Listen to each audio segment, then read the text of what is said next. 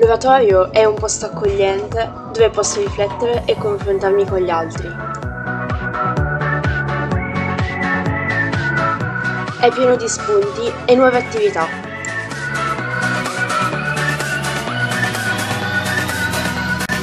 È un luogo dove posso incontrare i miei amici anche solo per fare quattro risate. È un posto accogliente grazie al dono agli animatori, che riescono a rendere ogni incontro più interessante con le loro proposte. Ma l'oratorio ti mette anche alla prova. Devi dare una mano durante le feste di Grest, imparare ad ascoltare e relazionarti con gli altri.